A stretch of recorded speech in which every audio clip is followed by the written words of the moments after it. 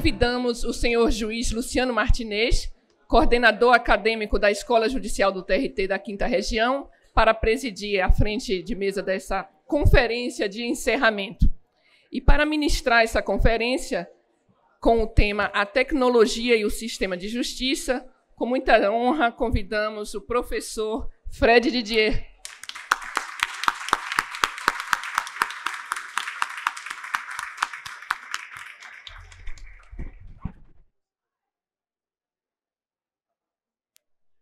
Com a palavra, o juiz Luciano Martinez, que apresentará o palestrante. Olá, meus amigos, muito bom dia. Encerramos o evento. É verdade, teremos ainda alguns elementos de continuidade, mas entre as exposições, com uma, uma chave de ouro. É, o professor Fred Didier dispensa apresentações, o currículo dele se encontra apresentado aqui no telão. Vocês podem conferir a, a qualidade, mas a qualidade dele é produzida na prática. É, pelo que a gente sabe no mundo acadêmico, talvez o quarto nome mais citado em obras jurídicas, junto com Ingo Sarlet, com é, Celso Antônio Bandeira de Mello e talvez Lênio Streck. É, então, é, é um, o nosso orgulho é efetivamente um nome jurídico que, também por um dado constatado na prática, é um dos, se não o mais, referenciado entre os juízes. É, não somente os juízes da justiça comum, mas também da justiça do trabalho. Quem nunca citou o Fred Didier em suas peças? Quem nunca colocou um fundamento jurídico dele? Ele consegue pensar de forma especial, poderíamos dizer fora da caixa. E exatamente por isso é que é sempre muito bom ouvir o professor Fred Didier. Fred, de uma forma muito ligeira e simples, eu te passo a palavra para que a gente possa aproveitar da sua presença. Muito obrigado por você estar aqui. Muito, muito bom dia. Meus caros e minhas caras, é sempre um, uma enorme satisfação vir à Justiça do Trabalho, é, onde eu sou muitíssimo bem é, acolhido, me sinto bastante querido, onde tenho muitos amigos, como Luciano, como Rodolfo, que está ali na plateia, é, e de onde eu sou é comendador. Eu sempre, eu sempre digo isso, sempre que eu vou, eu sou comendador da Ordem Judiciária do Mérito Trabalhista é, um título que eu tenho desde 2015.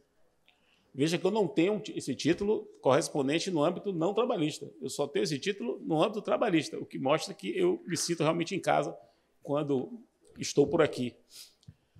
É, e Luciano me fez esse convite e me, me, deu, me deu a oportunidade de conversar com vocês sobre um pedaço, é um pedaço de um grande tema, que é o tema sobre o qual eu me tenho debruçado nos últimos três anos.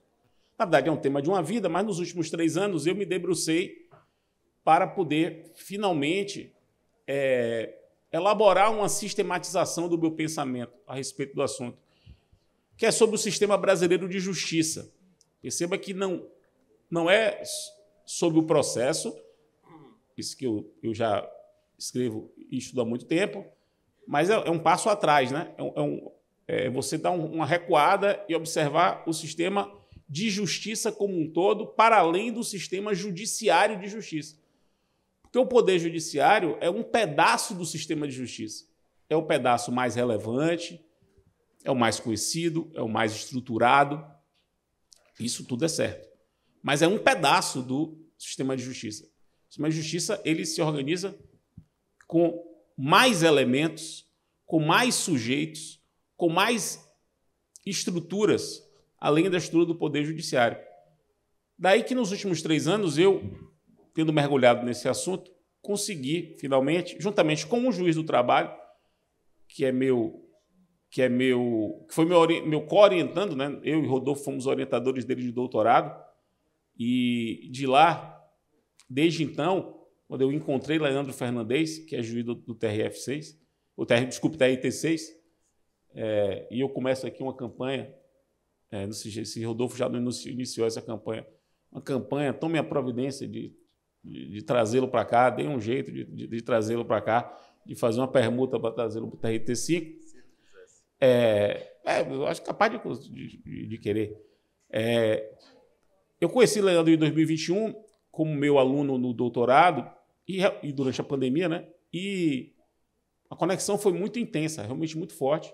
Hoje é meu principal parceiro intelectual, disparadamente. Disparadamente. O, a pessoa que realmente está junto comigo aí e aceitou o desafio de construirmos juntos. Realmente é impressionante como o trabalho foi um trabalho juntos. Né? Eu acho que eu não, eu não teria conseguido sem ele, ele não teria conseguido sem mim. É, realmente um produto, uma coautoria muito, muito clara. Produzir esse livro que se chama Introdução à Justiça Multiportas, que eu publiquei esse ano e se transformou no que eu chamei de volume zero do meu curso. O meu curso, que é um curso que tinha cinco volumes, agora tem um volume zero, porque é um livro que introduz o sistema de justiça. Portanto, permite que a gente observe como o sistema de justiça funciona, para aí a gente pensar no sistema judiciário de justiça, e especificamente no meu caso, com o processo civil que serve ao sistema judiciário o civil e também o trabalhista, claro, como todos é, sabem. Então, feitas essas considerações, um dos capítulos deste livro, esse livro tem 35 capítulos, um dos capítulos é Tecnologia e Sistema de Justiça. Então, o que eu vou falar aqui é um resumo, evidentemente um resumo, do, das ideias que a gente apresenta é, sobre a relação entre tecnologia e o sistema de justiça, repito, do qual o Poder Judiciário é um enorme pedaço, o mais importante pedaço, mas não é o único pedaço. Então, eu preciso esclarecer, é, inicialmente, até para que a gente fique na mesma página, alguns conceitos com os quais eu trabalho. Então, o primeiro conceito com o qual eu trabalho é o de justiça, que no meu caso se escreve com J minúsculo. É importante isso, porque justiça com J maiúsculo é ramo do Poder Judiciário. Justiça do Trabalho é com J maiúsculo. Todo mundo sabe. Porque é um pedaço do Poder Judiciário. Justiça com J minúsculo é outra coisa e é sobre ela que eu vou falar aqui. Justiça com J minúsculo significa solução adequada de um problema jurídico. Percebam, não é qualquer solução de um problema jurídico porque se qualquer solução do problema jurídico pode ser uma solução não justa ou não correta. A justiça tem que ser vista como uma solução adequada do ponto de vista formal e substancial de um problema que é jurídico. É, é, é preciso deixar claro que resolver problemas a gente resolve das mais variadas naturezas. Tem problema matemático, tem problema psicológico, tem problema médico, tem problema social, tem problema econômico e tem problema jurídico. Problema jurídico é o tipo de problema que pode ser resolvido com base no direito. Quer dizer, o direito é o suporte para resolver aquele tipo de problema. E por isso que aquele tipo de problema recebe a adjetivação de ser um problema jurídico. Portanto, um sistema de justiça. O que é, que é um sistema de justiça?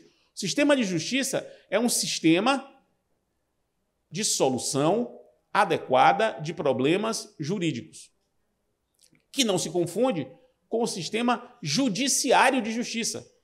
Porque o sistema judiciário de justiça é um subsistema, é um subsistema de solução de problemas jurídicos junto com o Poder Judiciário. Dizer, o, o, o Poder Judiciário ele está dentro desse sistema de solução de problemas jurídicos e resolve uma parcela desses problemas. Mas há outros subsistemas, porque há outras estruturas dentro do sistema de justiça que servem à solução de problemas jurídicos. Então, o conceito de sistema de justiça é esse: é um sistema, portanto, um conjunto de elementos que interagem. É um sistema de solução de problemas, não todos os tipos de problemas, mas os problemas jurídicos. E problemas jurídicos de um sistema de justiça são sempre problemas concretos. Porque vejam, lá na faculdade a gente resolve problemas jurídicos. Na aula, na, nos livros. A gente está resolvendo problemas jurídicos, mas são problemas jurídicos em tese. São especulações. O sistema de justiça não cuida de problemas jurídicos em tese. O sistema de justiça cuida de problemas jurídicos concretos. concretos, sempre. Problemas jurídicos que são, em tese, são problemas que podem ser resolvidos com especulação, inclusive embaixo de uma árvore. Você pode sentar ali e refletir sobre problemas jurídicos e pensar em soluções para os problemas jurídicos da humanidade. O sistema de justiça não, não, não se ocupa disso. O sistema de justiça se ocupa de problemas jurídicos concretos. E antes que alguém pense que eu estou equivocado nessa minha é, afirmação, eu já me antecipo a possível crítica quando diz assim. Já tem acontecido bastante. O cara pensa, diz assim, mas Fred está errado, porque um ADIM, por exemplo, é, se preocupa com questões abstratas, questões de tese. Erro. Nenhum ADIM se preocupa com questões abstratas. Toda ADIM tem uma petição inicial, toda ADIM tem uma petição inicial, me engano, que não está em branco, me engano, a petição inicial da não está em branco, ela impugna um ato normativo existente. Não existe ADIM contra atos normativos não existentes. Se o ato normativo não existe, não pode ser impugnado. Então, é sempre um ato normativo existente e aquele ato normativo impugnado está impugnado em face de uma determinada realidade constitucional. Aquilo é um problema jurídico concreto, porque nós estamos diante de um ato normativo, que é um ato jurídico, que está sendo impugnado diante de um outro ato normativo, que é a Constituição, e preciso ver se há essa incompatibilidade ou não. Tanto é verdade que, se eu propuser um ADIM, o Supremo não pode julgar um outro ato normativo distinto daquele que eu impugnei no ADIM. Porque o Supremo julga aquele problema concreto que é saber a relação de conformidade ou não de um ato normativo com a Constituição. Não há problemas jurídicos, em tese, abstratos, que o sistema de justiça resolva. A justiça se ocupa de problemas jurídicos concretos, ainda que os problemas jurídicos concretos não atinjam determinadas pessoas. E, isso é verdade. Há problemas jurídicos concretos que não atingem a esfera da individualidade. Isso é, isso é verdade. Mas todo problema jurídico que está submetido ao sistema de justiça é um problema jurídico concreto. Pois bem, o segundo, a segunda definição importante para a gente ficar na mesma página é a definição de porta. de porta. O que é uma porta de acesso à justiça? Veja bem, se a gente entende que justiça é com J minúsculo, acesso à justiça não é acesso ao judiciário. Acesso ao judiciário é uma coisa, acesso à justiça é outra coisa. Eu posso, evidentemente, acessar a justiça e não o judiciário, não há dúvida quanto a isso. Mas, evidentemente, também eu posso acessar a justiça sem ao judiciário. Acesso à justiça não se confunde com acesso ao judiciário.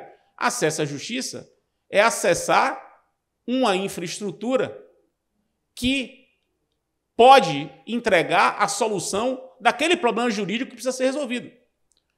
Então, o direito de acesso à justiça é o direito a que existam infraestruturas predispostas ou pós-dispostas, daqui a pouco eu vou falar o que é infraestrutura pós-disposta, infraestrutura predisposta ou pós-disposta a resolver um determinado problema jurídico que precisa ser resolvido. Então, essa dissociação entre acesso à justiça e acesso ao judiciário é também fundamental para compreender o sistema de justiça. Fundamental. E aí entra a noção de porta. Porta de acesso à justiça é toda a infraestrutura, toda a infraestrutura que serve à solução de um problema jurídico. E aqui eu faço algumas ponderações, algumas observações. Primeiro, essa infraestrutura pode ser física, no sentido de é, madeira, é, alvenaria, como esse prédio, mas também pode ser estrutura virtual, é, como, por exemplo, a plataforma do Ministério da Justiça chamada consumidor.gov.br, acho que todos conhecem, que é uma porta de acesso à justiça. É uma infraestrutura tecnológica à disposição daqueles que querem que determinados problemas jurídicos, no caso consumeristas, sejam resolvidos. Uma porta, ela pode ser predisposta ou pós-disposta. E esse pós-disposta aqui, evidentemente, é uma palavra que não existe. Eu acabei de, assim, de, de criá-la, mas com uma, um neologismo para a gente se comunicar. O que é uma, uma porta predisposta? É uma porta que já está lá, ela já existe e está à espera, à espera, à espera de alguém provocá-la para resolver um problema jurídico. Como é o Poder Judiciário? O Poder Judiciário é uma porta predisposta. como é a plataforma consumidor.gov.br, como são as agências reguladoras, como são os tribunais administrativos, como o Tribunal de o Tribunal Marítimo, como o Tribunal de Contas, são portas de acesso à justiça à disposição do problema que vier e que lhe competir resolver ser decidido. Só que também é possível portas pós-dispostas. O que é isso? É possível construir uma porta para resolver determinado problema jurídico. Eu sei que isso no Poder Judiciário é estranho, porque nós todos estudamos juiz natural, por exemplo, que, que cujo princípio é, é, proíbe que nós constituamos juízos ad hoc.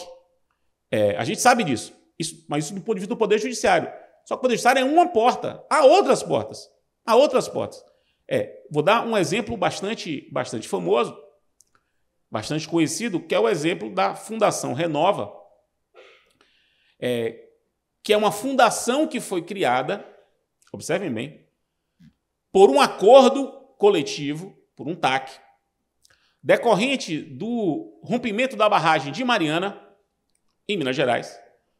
Então, o, o, os poderes públicos, União, Estados, os ministérios públicos envolvidos e as empresas envolvidas, por meio de um TAC, resolveram várias coisas. E uma das coisas que resolveram foi o seguinte: olha, a quantidade de problema jurídico que decorre desse acidente é uma enormidade tão sem precedentes que a infraestrutura que existe hoje no Brasil não dá conta de resolvê-lo. Então é preciso criar uma infraestrutura nova só para tratar desses problemas.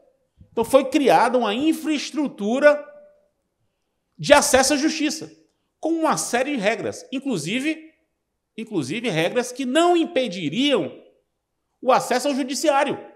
É importante esse, esse equacionamento. Quer dizer, você tem uma nova infraestrutura que está à disposição, bancada só por uma das partes, com uma série de regras de governança que não impediria acesso ao judiciário. Então, isso é uma infraestrutura pós-disposta. Isso é aquilo que no fora do Brasil se chama de entidade de infraestrutura específica. Entidade de infraestrutura específica. Você cria uma entidade como para aquele problema. Isso, existem vários, vários casos como isso, vários, no Brasil, inclusive. Estou dando esse exemplo porque é um exemplo bastante famoso.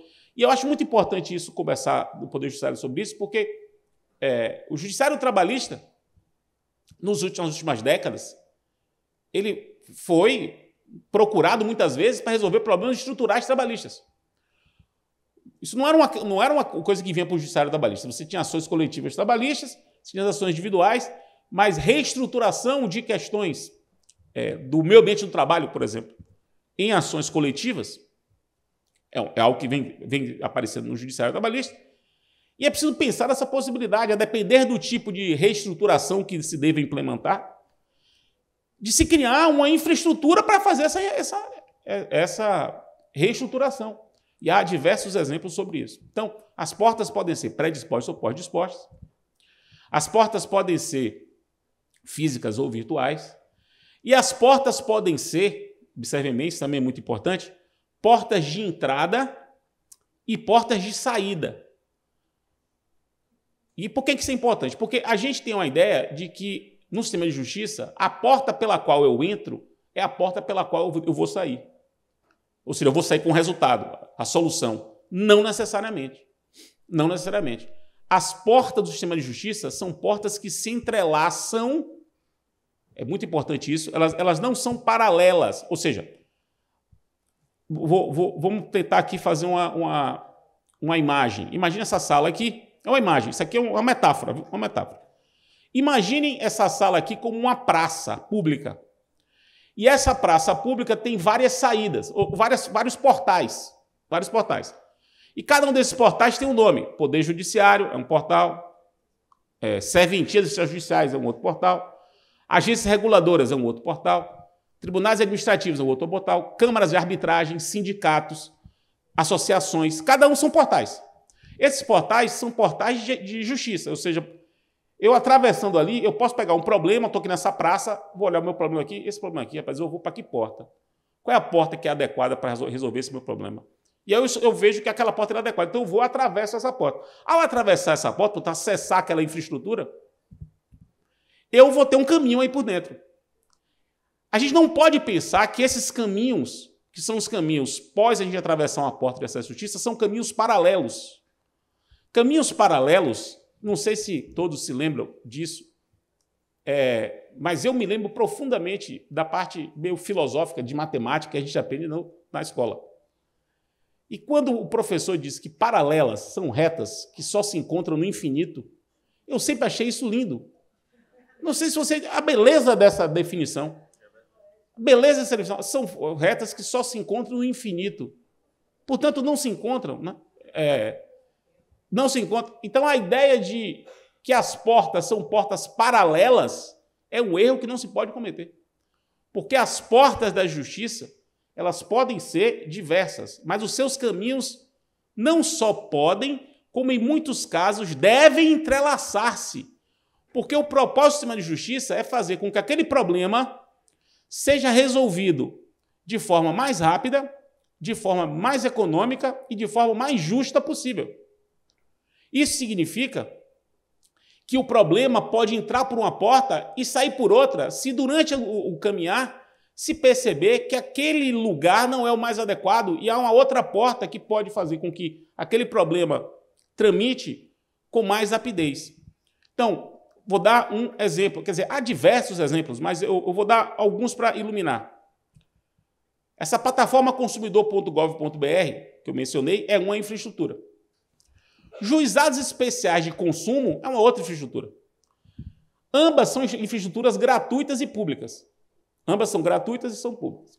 Ou seja, de acesso gratuito e são públicas.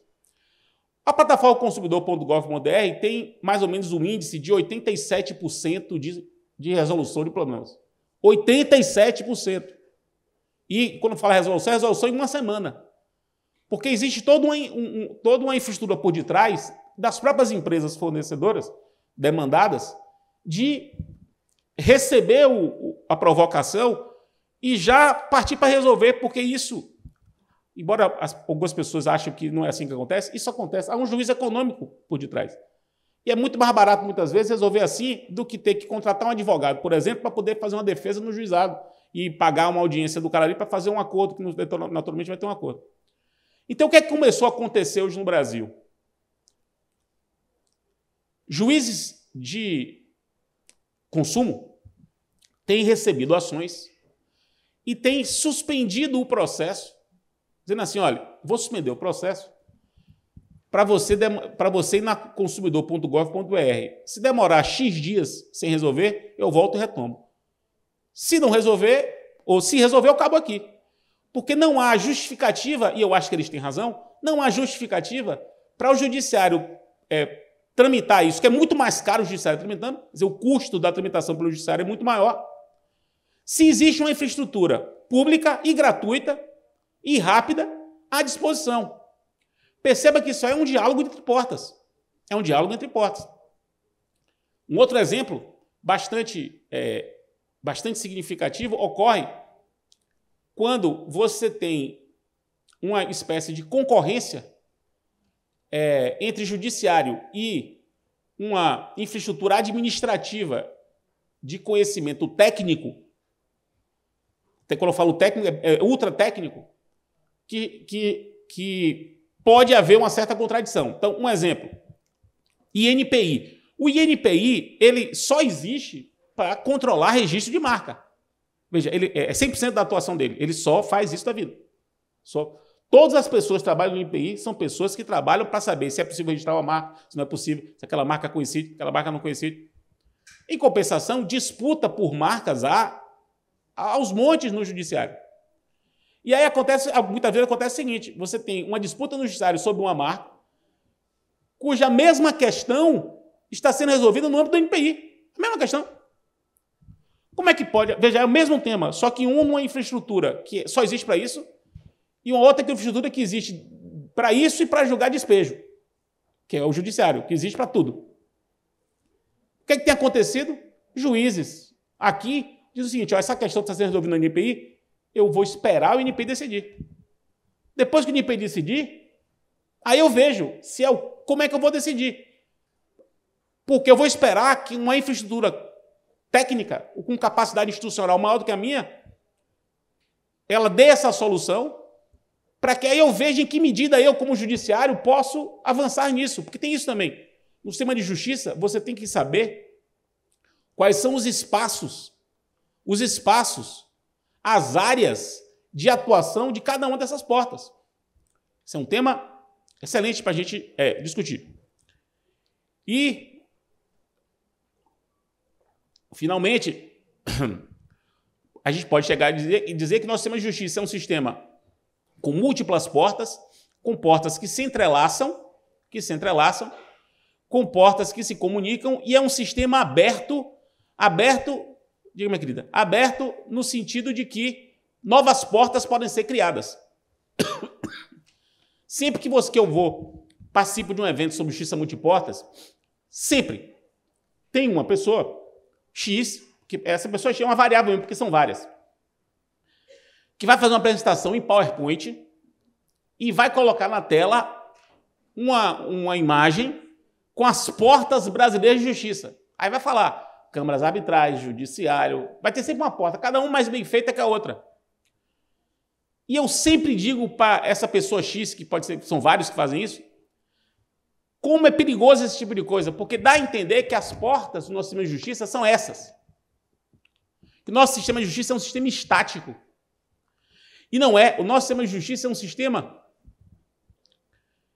é, extremamente aberto, aberto em todos os sentidos, novos sujeitos dentro do sistema, novas portas, novos procedimentos.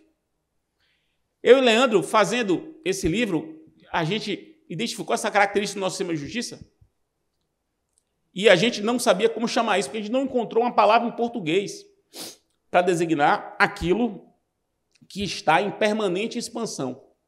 Inclusive, se você encontrar essa palavra, no, no, nos digam, porque a gente acrescenta na próxima edição. A palavra que está em permanente expansão.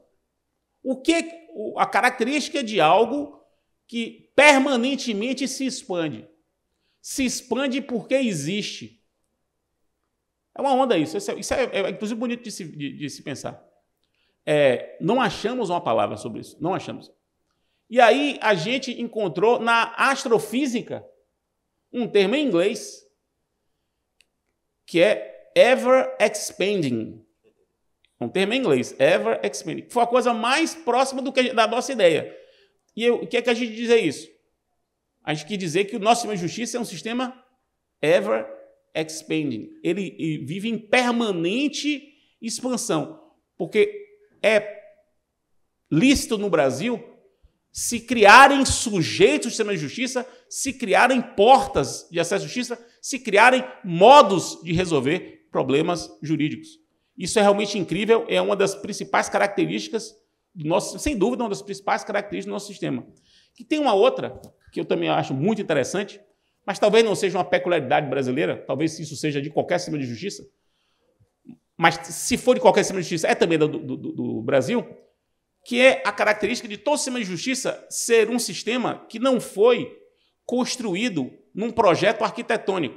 O que eu quero dizer com isso? Não teve lá um momento X, lá em 1910, que alguém pensou: vou construir o sistema de justiça brasileiro com essas características, vou fazer um plano arquitetônico e esse vai ser o sistema de justiça.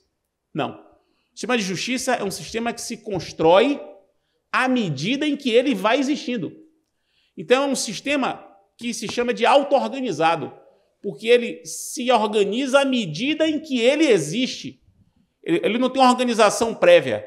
Ele vai se desenvolvendo e vai se construindo, o que faz com que em muitos momentos haja uma certa cacofonia do sistema, há uma, talvez uma cacofonia inicial do sistema, porque as coisas são feitas sem planejamento, começa a haver um, um pode haver no início um tipo de de é, desarmonia, mas de, da cacofonia para a sinfonia é, é, não demora muito. Não demora muito. E eu dou é, como imagem, eu acho essa imagem também muito boa, que é a imagem da carroça de melancias. E me parece que esse ditado, inclusive, é um ditado no mundo todo, só varia, eu acho que a fruta e o tipo de meio de transporte. Mas é, a, a, imagem é ótima. Que é, pense numa carroça cheia de melancias. Quando você coloca, fica tudo desorganizado. A melancia fica assim, é difícil de arrumar. Fica um, um, como dizemos nós aqui da Bahia, fica um mangue. À medida em que a carroça começa a andar, com o trepidar da carroça, as melancias vão se ajeitando. E existe esse ditado, né? É com o trepidar da carroça que as melancias se ajeitam. E é exatamente isso que ocorre no sistema de justiça.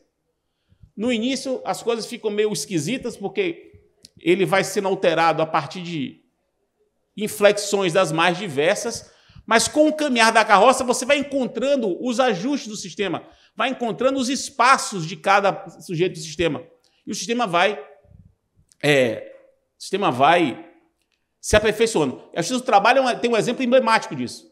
A gente, eu acho esse exemplo do trabalho espetacular. E para mim muito especial porque corresponde muito à minha existência como professor. Veja comigo, 2000 houve uma reforma trabalhista que criou é, as comissões de conciliação prévia. Só me engano é de 2000. Posso estar errado aí, mas acho que é de 2000. Não é isso? Não é 2000? É, a, a, o ano 2000. Eu me lembro que eu estava começando a minha vida como professor ali. Tinha dois anos dando, dando aula. Eu, em sala de aula, chutava a cabeça disso. Chutava a cabeça. Inconstitucional, absurdo. Como é que pode? Como é que pode tirar do judiciário?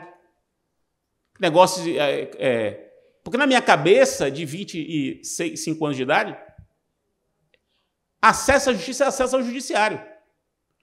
Como é que pode se criar uma comissão de conciliação prévia no âmbito trabalhista? Não deu outra. O Supremo, poucos anos depois, considerou inconstitucional, inconstitucional, a interpretação segundo a qual você só pode ir para o judiciário trabalhista se você passar por lá. Então, essa interpretação foi tida como inconstitucional. Que todo mundo conhece essa história. Aí vem a emenda constitucional 45, que reformulou o Poder Judiciário Trabalhista, inclusive. Né? Veja que ela é de quase cinco anos depois, porque ela foi de 31 de dezembro de 2004. E essa emenda constitucional trabalhista acrescentou o parágrafo 2 do artigo 114 da Constituição, todos vocês conhecem, que diz que dissídio trabalhista de natureza, dissídio coletivo de natureza econômica, só pode ser provocado pela, pelo consenso, pelo, pelo consenso de ambos os dissidentes. Né? Vamos chamar assim ambos os dissidentes. Provocação comum. É, de comum acordo. Parágrafo 2 do artigo 114. Me lembro bem, março de 2005, eu entrava em sala de aula e escrevia, está no meu livro já, da época, dizendo assim, absurdo, inconstitucional, como é que pode exigir é, litisconsórcio necessário, ativo, para provocar justiça? Como é que pode haver um dissídio consensual. Se é dissídio, não é consensual. Enfim, falei, chutava a cabeça. Cinco adins foram ajuizadas contra esse dispositivo. Não sei se você lembra disso. Eu me lembro, disso. Eu me lembro passo a passo.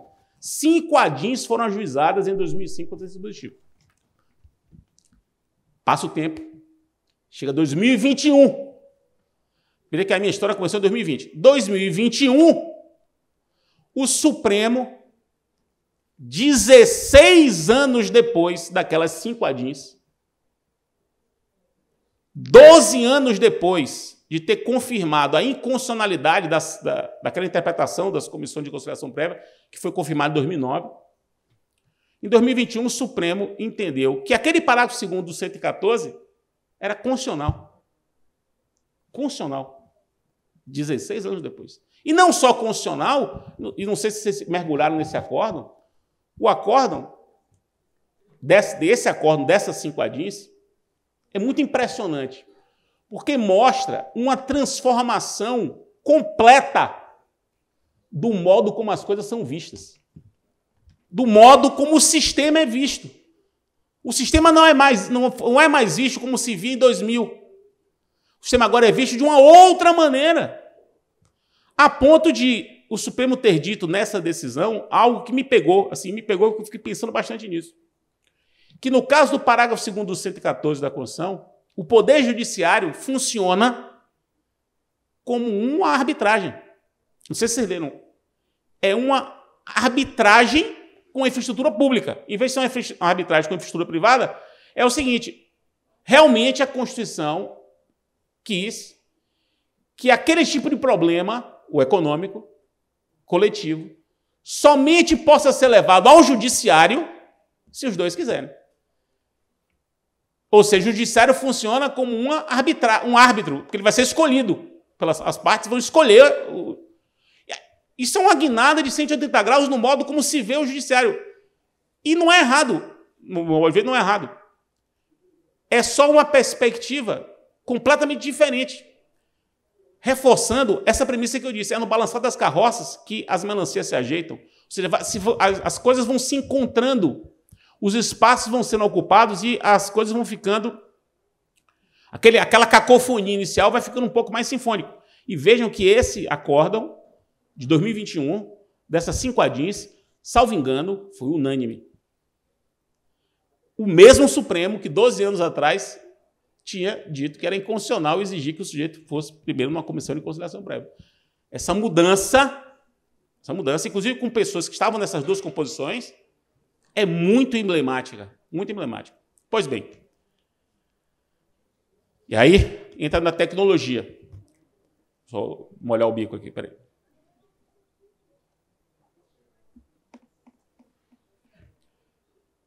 A gente, fazendo o livro, a gente começou a perceber que existem determinados institutos no direito brasileiro que eles não, que eles são institutos que servem a uma espécie de, eles servem como uma espécie de graxa, graxa de óleo de máquina com azeite. São institutos que servem para que as portas dialoguem de maneira mais eficiente, que as portas funcionem de maneira mais eficiente. São, são institutos que servem para fazer com que o sistema funcione melhor, com mais eficiência. É a imagem da graxa, a imagem do óleo, é, a imagem do WD, que a coisa está enferrujada, você bota o WD ali para poder rodar. Ou seja, são institutos que, a falta de outro nome, nós chamamos de catalisadores. O que é um catalisador? Catalisador é aquilo que facilita determinada reação. Quando você usa um catalisador, você quer que aquela determinada reação química, por exemplo, ela seja acelerada. Os catalisadores do sistema de justiça são exatamente esses institutos que servem para que o sistema funcione melhor. Acelere a solução dos problemas, é, dê mais eficiência ao sistema, facilite a comunicação entre as portas. A gente chamou, a gente chamou esses institutos de institutos catalisadores. Tem até uma parte no livro que chama os catalisadores do sistema de justiça. Alguns exemplos. A cooperação judiciária é um catalisador de que a justiça do trabalho é precursora no Brasil. A justiça do trabalho é precursora total no Brasil na cooperação judiciária. E um exemplo emblemático, histórico, histórico da justiça do trabalho é o do acordo com os clubes de futebol, é, que começou com os clubes de futebol no início do século XXI, no caso do Rio de Janeiro, no TRT1, com os quatro grandes clubes do Rio de Janeiro. E depois, anos, mais muitos anos depois, acho que só em 2015, se não me engano, 15 anos depois, vem aquela lei do Profut e cria aquilo que já na prática se havia construído como forma de resolver o problema daqueles grandes devedores que eram os clubes de futebol. Isso é cooperação judiciária. Perceba como isso é um instituto que fez com que o sistema de justiça trabalhista, para aquele problema ali, funcionasse de forma melhor.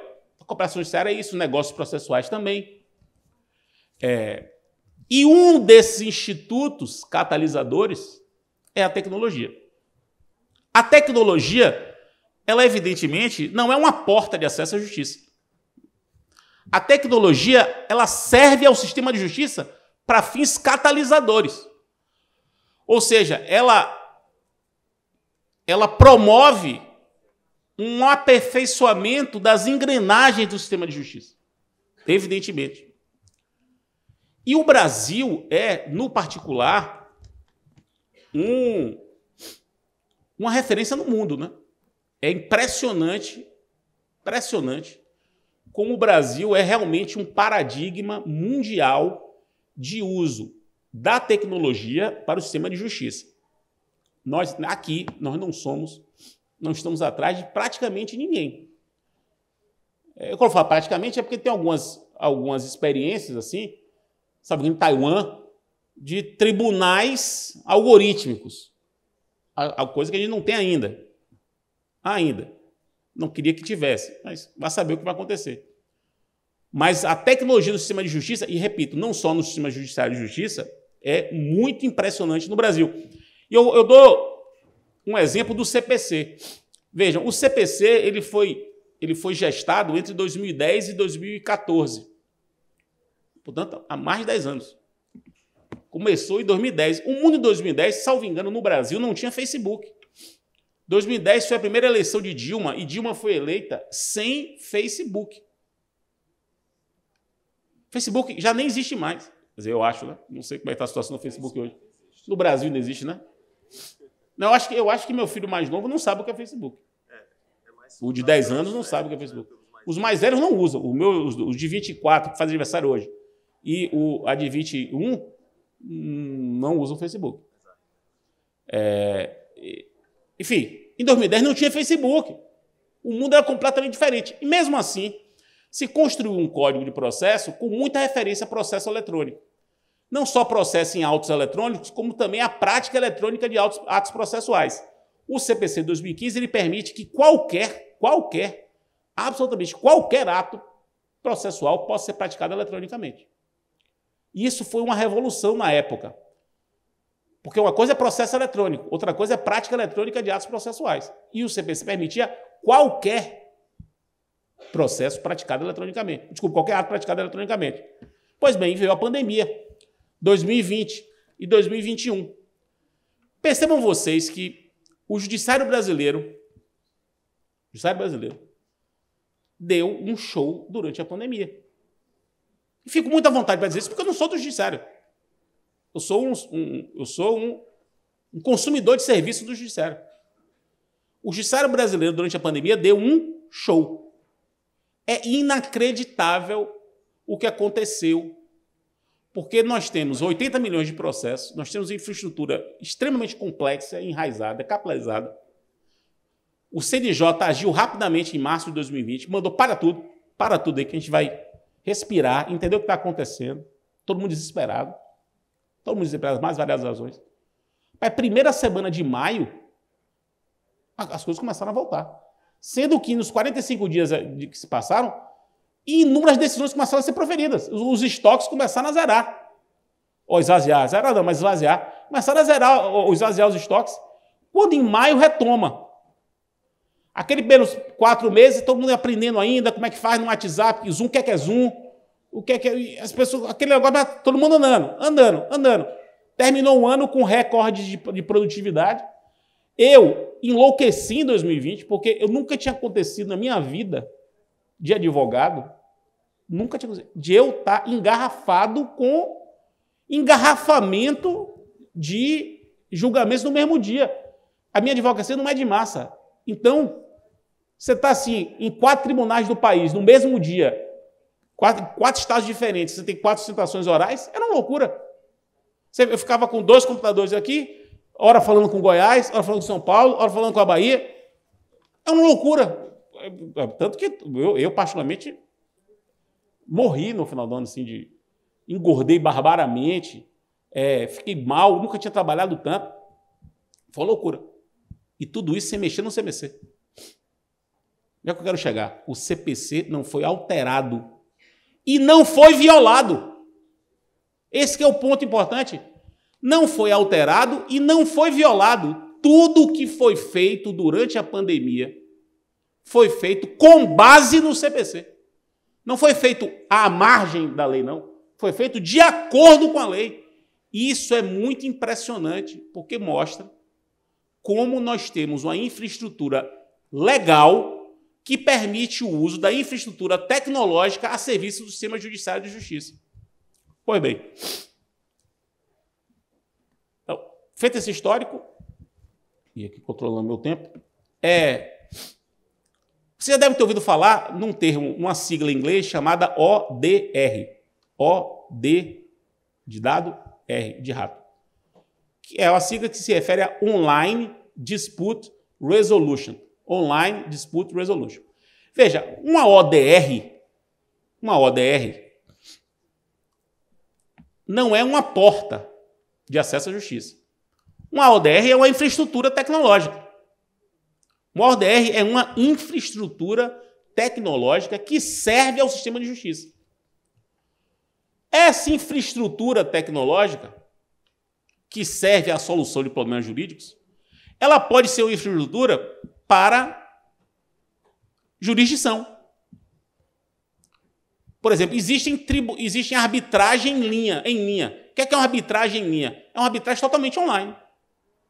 Você tem uma infraestrutura, você tem uma ODR criada para processar arbitragem completamente em linha, sem nenhuma prática, nenhum ato presencial.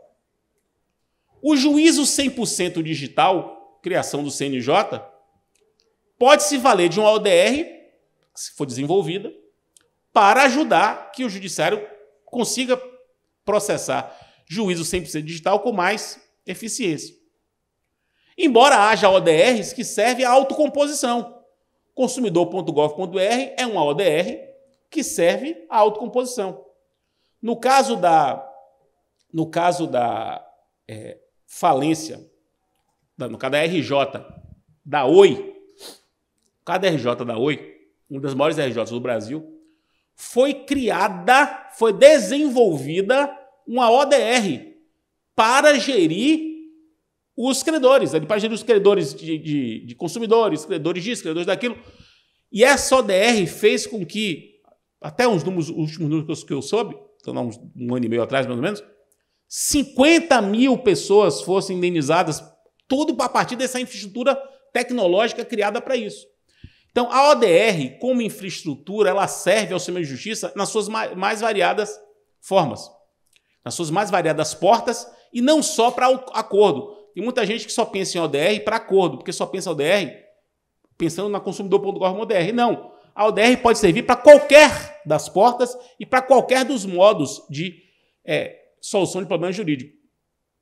É, eu, eu, não conheço experiências na Justiça do Trabalho de ODRs criadas para determinada solução, mas seguramente devem existir, devem existir.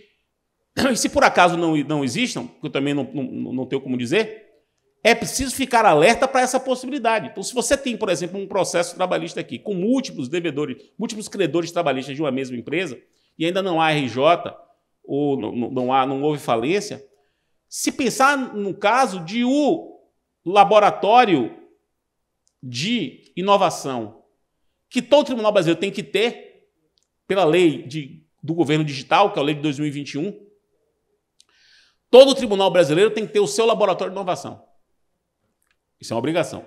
A resolução 398 do CNJ também determina isso, porque a resolução 398 do CNJ, ela, ela é, a, é a regulamentação para o judiciário brasileiro da lei do governo digital, que é a concretização da mudança na Constituição que foi feita há uns anos, que colocou a inovação como categoria constitucional ao lado da ciência e tecnologia. Diria que aquele capítulo da Constituição que falava em ciência e tecnologia, agora é ciência, tecnologia e inovação, mudou de nome. E a inovação passou a ser, a promoção da inovação passou a ser um dever do Estado brasileiro. E a lei do governo digital regulamenta isso para todas as instâncias públicas. E a resolução 398 do CNJ disciplina isso para o judiciário. E ao disciplinar para o judiciário, estabelece o dever de criação de laboratórios de inovação para qualquer tribunal, e esses laboratórios de inovação podem ser exatamente os laboratórios de criação de ODRs, é, que ajudem o sistema de judiciário de justiça a resolver problemas que, pela, por uma infraestrutura tecnológica criada para isso, dizer, com um sistema criado para isso, a solução pode ser ainda mais é, eficiente e adequada. Pois bem, um outro ponto das relações entre. E aí eu vou focar só no judiciário por enquanto. O Estado de Tecnologia tem a ver, e, enfim, tá, seguramente aqui está no nome do, do evento, né? É a inteligência artificial. Isso, enfim, eu não, não entendo, tendo quase patavinas disso. É, eu sei que isso existe, sei que é muito impressionante, sei que é inevitável. Eu, afinal de contas, eu vi Exterminador do Futuro, e vi Exterminador do Futuro adolescente. Adolescente não, né?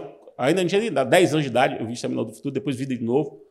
E aquilo, para mim, não existiria. E a gente vê existindo. Quer dizer, vi Caçador de Androides. É, e as coisas estão acontecendo, né?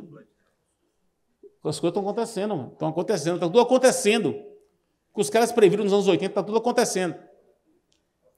E é inevitável, evidentemente, o uso da inteligência artificial pelo Poder Judiciário. Isso já está acontecendo, todos sabem disso. Todos sabem que já está acontecendo. Os, sobretudo os tribunais superiores já têm os seus próprios robôs, as suas próprias inteligências artificiais, que servem para filtrar examinar documentos, fazer resumos, fazer relatórios. O... E eu não vou dizer mais além disso, porque pode ser que haja inclusive outras funções, mas eu não quero, eu não quero dizer sem ter certeza. Mas pode ser que não haja outras funções que a inteligência artificial desenvolvida possa já estar é, exercendo. Então, é inevitável, nós temos um encontro marcado com isso. A lei sobre o uso da inteligência artificial está para ser aprovada. É, o projeto de lei no Congresso está bastante avançado, acho que não passa desse ano. O CNJ está mergulhado nisso. Os impactos éticos são evidentes, evidente, então, acho que todo mundo há de concordar. O, as questões éticas são muito claras, as questões de eficiência, por outro lado, também são muito claras. De fato, é preciso mergulhar nisso, é, mas não é possível a gente ser ingênuo de achar é, que o judiciário não vai usar inteligência artificial porque se nós advogados usamos, é, e usam, e evidentemente os meus caros e minhas caras, os, a advocacia se transformou completamente. Se transformou completamente, completamente, completamente. Não há um grande escritório que não tenha o seu próprio sistema de inteligência artificial. Não há. Com as mais variados propósitos os mais variados propósitos. Por quê? Porque a quantidade de trabalho, de informação com que se trabalha hoje em dia, é uma enormidade. É uma enormidade você trabalhar o, o, o chamado Big Data. É um dos desafios do século XXI. Nunca se teve tantos, tantos dados à disposição para se operar. Não sei se vocês, mas eu estou com a impressão de que minha cabeça está para explodir. Não sei se vocês estão com esse. Eu estou com a sensação de overload overload. E para mim isso é um drama, um drama. Por mais variadas razões. Primeiro, porque eu nunca me, me, me nunca me ressenti disso. Segundo, eu estou fazendo 50 anos, daqui a um mês. Então, estou me sentindo mal por isso. É um sinal de que, porra, com 50 anos está dando isso, quando dá 60, eu capotei. Na minha cabeça, né? E eu tenho três filhos, sendo que dois já deveriam estar me criando, porque já são adultos.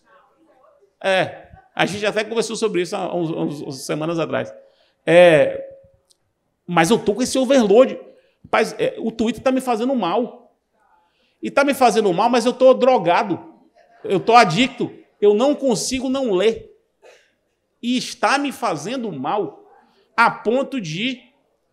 Eu não sei se vocês têm essa impressão de que as pessoas estão transformando com qualquer conversa, mesmo que você não conversa assim, numa conversa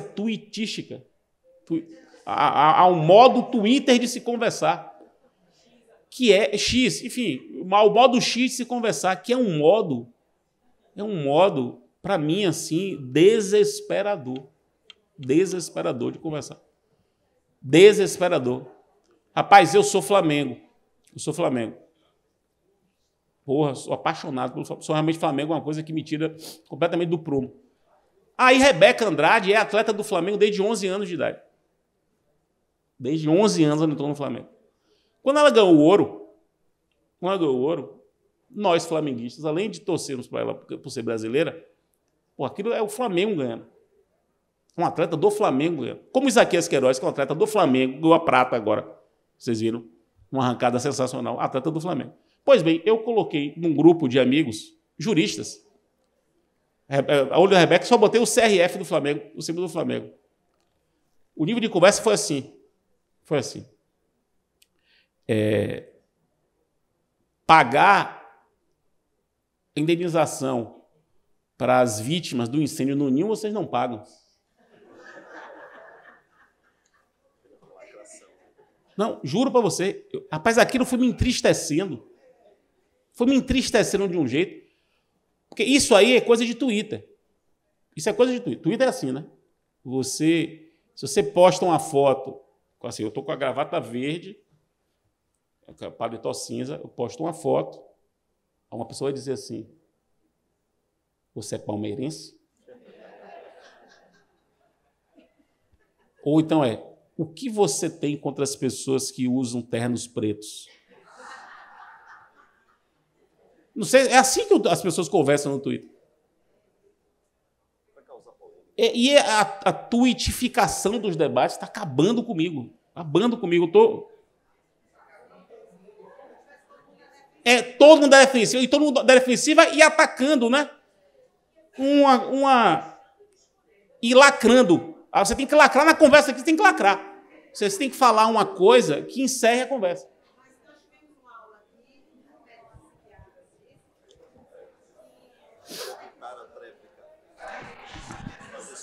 Essa semana.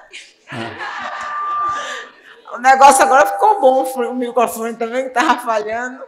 Essa semana nós tivemos um, um médico psiquiatra aqui é, que nos disse que a tecnologia, inteligência artificial, essa comunicação por redes sociais está mudando o modo de funcionamento do nosso cérebro, que há uma modulação orgânica mesmo, fisiológica do cérebro, que, que a gente tem que se preocupar. Não quero me preocupar mais ainda não, mas foi eu, o que ouvimos. Eu, eu não sou especialista nisso, mas eu acho essa hipótese muito plausível, inclusive me vendo dentro disso.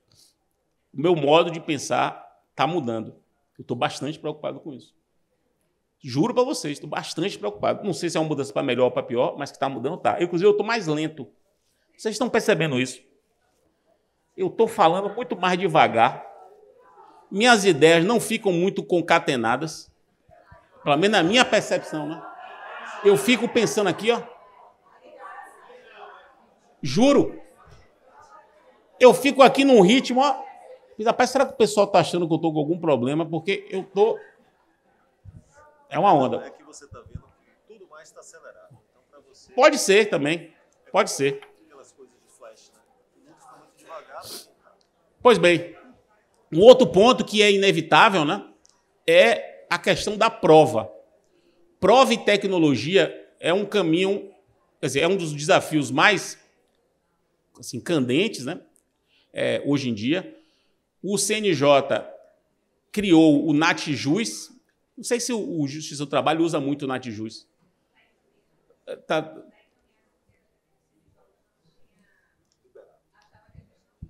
Ah, é? Que onda. Né? Que onda. É, onda estranha, né? NatJus é o seguinte. NatJus é um banco, um banco de dados médicos é, que o CNJ criou em convênio com hospitais, né, com profissionais. E aí, quando tem questões relativas à saúde, já existem lá pré-laudos, assim, questões médicas já estão resolvidas ali. Um banco enorme de informações.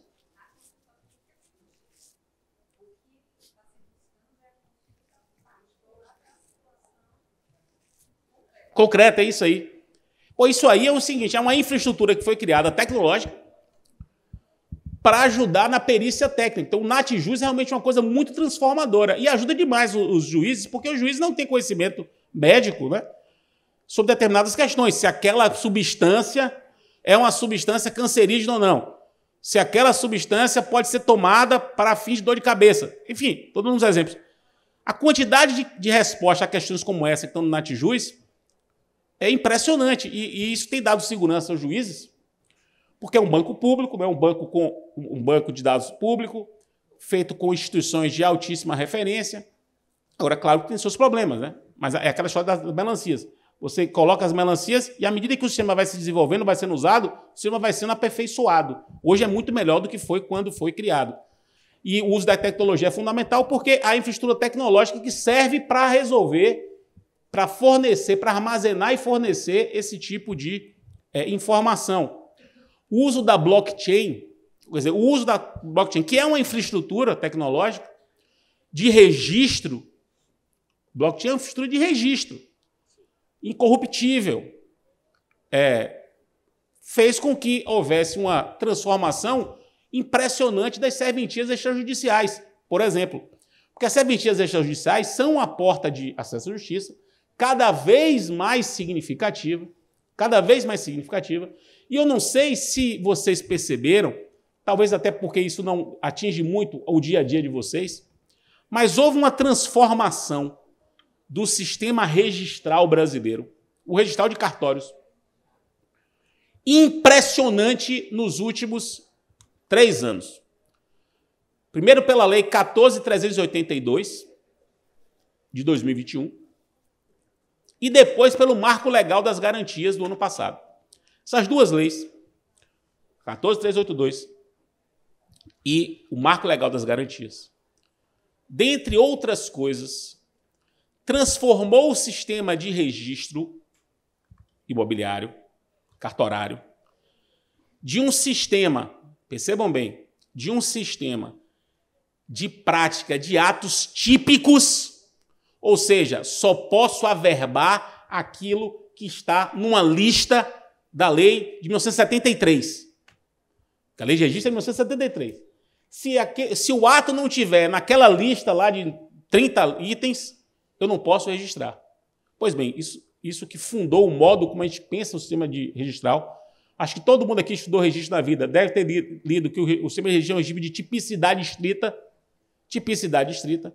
Pois bem, essas duas leis mudaram tudo. Porque elas passaram a dizer o seguinte: que é possível averbar na matrícula de um imóvel qualquer coisa ou informação, e aí uso qualquer, qualquer coisa ou informação que possa interessar aquele imóvel, tornando o sistema um sistema é, absolutamente aberto. E o que, é que isso tem a ver com tecnologia? Hoje se fazem transações imobiliárias, ou para ser mais preciso tecnicamente, se fazem transações sobre imóveis na blockchain, sem fazer transações no registro. Ou seja, eu posso ter, eu posso, eu posso vender os direitos que eu tenho sobre um imóvel sem vender o imóvel. E fazer essa venda na blockchain. Seja, fazer essa venda tokenizada, com um token. Com um token. Um token é um ativo virtual. E o ativo virtual pode estar relacionado a um imóvel. Eu posso negociar o token sem negociar o imóvel. Onde é que eu quero chegar? Eu agora tenho dois imóveis. Eu tenho o imóvel físico na matrícula e eu tenho o imóvel avatarizado. Eu tenho um avatar do imóvel que é tokenizado. O da matrícula eu só posso vender no cartão lá mudando a matrícula. O daqui eu vendo alucinadamente. Alucinadamente. Só que eu posso pegar esse avatar hoje e averbar. Eu, pode contar na matrícula assim: esse imóvel tem um token, está tokenizado. De modo que eu, eu, eu, dobro a utilidade econômica dele. Ou seja, eu tenho, eu tenho ele como imóvel chão e tenho ele como imóvel token. Isso tudo agora pode ser, pode ser é, colocado na matrícula, mesmo sem previsão legal. Porque não está lá na lei 73, naquele rol. Evidentemente não está. Averbar um token. Não está isso lá em 73. Mas como essas duas outras leis mudaram o sistema de registro a ponto de permitir que agora eu posso colocar na matrícula qualquer coisa relativa àquele imóvel, eu posso averbar o token. E o que, é que isso tem a ver com vocês? É que o sistema registral, que é uma porta de, de justiça também, é utilizado pela, pelo Poder Judiciário, por exemplo, para averbar penhoras. Não é isso? Para averbar penhoras. Para averbar a pendência de uma execução, antes mesmo da penhora. E você pode, por exemplo, penhorar criptoativos. E se você penhorar, se o criptoativo penhorado for um criptoativo imobiliário, portanto, for um token imobiliário, você pode fazer a penhora do token imobiliário averbada na matrícula do imóvel, que é diferente de penhorar o imóvel. São duas penhoras distintas. É preciso ficar com a cabeça aberta para essas possibilidades que de criação de novos ativos penhoráveis por conta da tecnologia. E o uso do, do secular sistema de cartórios, secular, que até pouco tempo atrás não poderia ser usado para essas coisas, porque era um sistema com tipicidade estrita. Mas agora você pode usar porque o sistema foi completamente transformado. Completamente transformado. E, para terminar, o que eu vou falar agora eu não tenho resposta. É só uma provocação. Uma provocação. Talvez um dia a gente tem, vocês vão ter que enfrentar sobre isso. Sobretudo agora, vocês estão vivendo esse momento aí de, de, de, de tormenta com o Supremo, esse diálogo intenso que vocês estão tendo com o Supremo. É, tormenta é uma palavra que não se usa mais, né? É, não se usa mais. É, tormenta. O quê? É, mano, é, enfim. Não, não eu, eu não tenho lugar de fala para tratar disso. É, repare. Veja bem. Vocês já ouviram falar num, num negócio chamado smart contract? Smart, smart contract. O termo em inglês, em português seria algo como contrato inteligente, mas não se usa esse termo em português, só se usa em inglês. Smart contract. Smart contract é todo contrato feito com base, na, com base em tecnologia blockchain, quer dizer, a, a infraestrutura é blockchain. É um contrato totalmente eletrônico, cujas etapas contratuais, as etapas de adimplemento, de execução do contrato, todas são programadas. Todas são programadas. Então, o contrato se executa inteligentemente. Por isso que é chamado de contrato. Ele não precisa dos atos das pessoas. O contrato vai se executando inteligentemente. Então, você vai, seu contrato de hospedagem com um hotel. Você tá, fez o contrato de hospedagem. Se deu meio-dia, a chave deixa de funcionar. A chave do quarto deixa de funcionar. Não precisa, de, não precisa alguém apertar um botão. O contrato ele já vai automaticamente fazendo isso. O, o seu contrato de Uber, que é o contrato de, de intermediação de transporte de, de, passageiro, é um contrato totalmente inteligente. As coisas vão sucedendo ali sem. É, com, com algoritmo. É, algoritmicamente ele vai se executando. Os contratos inteligentes hoje estão espalhados. Assim, espalhados na, na, na prática né, comercial. Só que eles tem, tem acontecido o seguinte: os contratos estão ficando tão inteligentes, tão inteligentes, que não só o cumprimento deles está sendo automatizado, se está automatizando também o pós-inadimplemento deles. Ou seja, como é que, a, a, como, é que a, como é que tradicionalmente a gente foi criado? Temos um contrato, se o contrato é inadimplido, eu vou ao judiciário executar o contrato. Então, eu vou promover o judiciário, o vai citar o devedor, tem penhora. Há contratos inteligentes que prevê o seguinte: teve inadimplemento, eu já pego o dinheiro do cara, acabou. Não tem que ir. Não tem que ir para o judiciário. O cartão já está lá, o cartão de crédito já está lá. Teve, tem, o cara não pagou no dia. A, cláusula penal, que antes eu cobrava no judiciário, já foi cobrada e você não está nem sabendo. O credor já recebeu esse dinheiro e você não está nem sabendo. Ou seja, percebam bem, os contratos inteligentes estão reconfigurando, observem isso, reconfigurando a autotutela. A autotutela que todas as pessoas que estão aqui estudaram como algo bárbaro, primitivo, é, pré-histórico, criminoso, residual. A autotutela hoje está completamente reconfigurada. Completamente reconfigurada.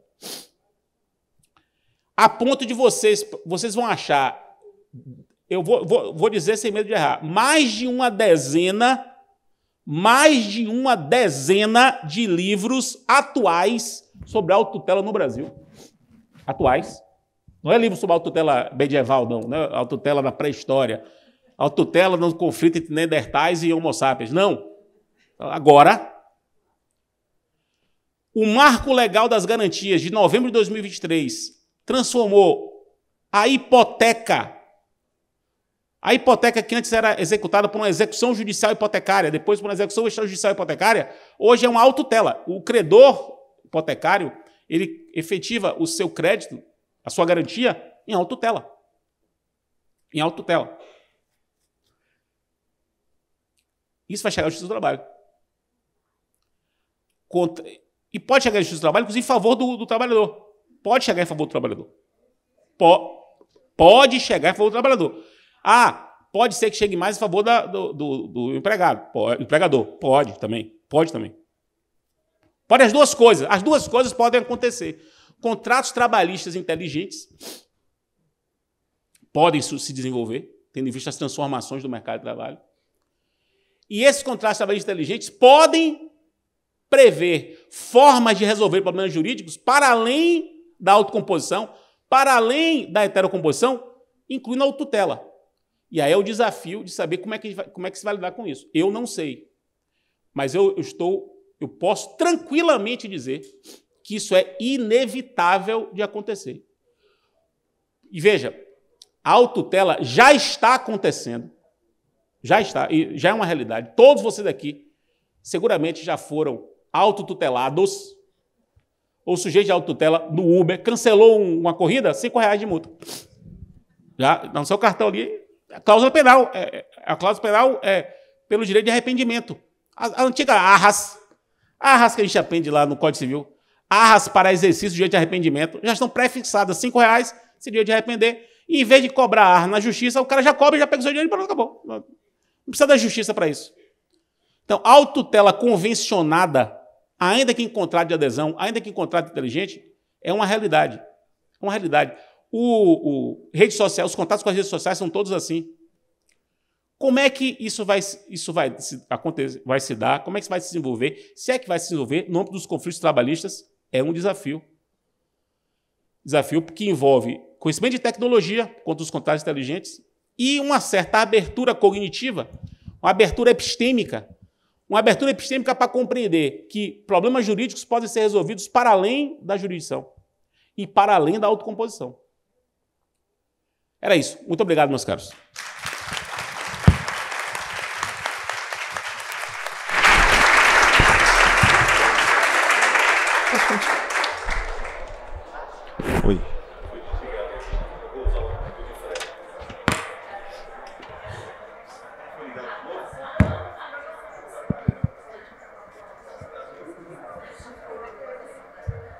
Bom, é exposição dialógica, né? A gente tem a oportunidade de dialogar com o expositor.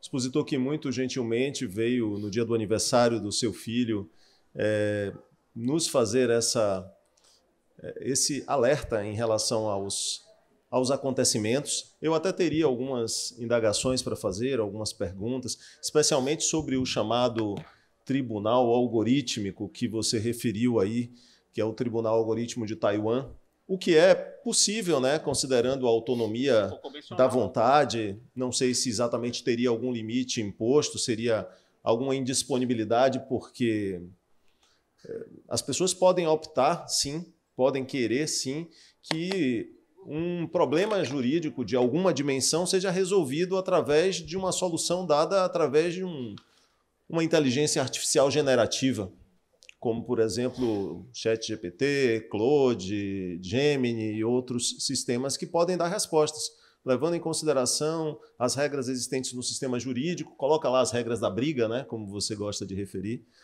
É, a solução é essa aqui, e todo mundo aceita previamente resolvê-la. Então, muito possivelmente a gente vai ter em algumas situações isso, talvez aqui no Brasil não, excluindo o acesso do judiciário, porque a gente tem isso como previsto no texto constitucional. Mas, Fred, é, pela comunidade, pelos juízes do trabalho, pelos desembargadores do trabalho, pelos magistrados de uma forma geral, eu ofereço aqui o, o meu agradecimento e, e, eu digo: você é sempre muito bem-vindo. Adoramos você, sua forma é, informal né, de falar, com seus exemplos, com suas ilustrações que nos levam a compreender muito melhor do que com palavras complicadas, você aderiu à linguagem simplificada e faz nos entender de forma muito clara. Obrigado por tudo e vamos aplaudir o nosso